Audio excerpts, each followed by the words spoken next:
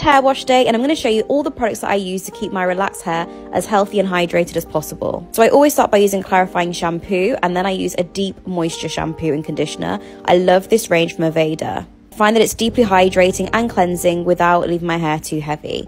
Then I like to use a hair mask. This one here is from Olaplex, and then I wash my body. Always wash your body after all your hair products. Course, I'm using a heat protectant and a little bonding oil. I've been testing this spray from Drybar. I picked it up in the States and I really, really like their products and I love their heat tools. This is the best hair dryer I've ever used. I always add a little bit more Olaplex at the end and that is it guys. Fresh, clean hair.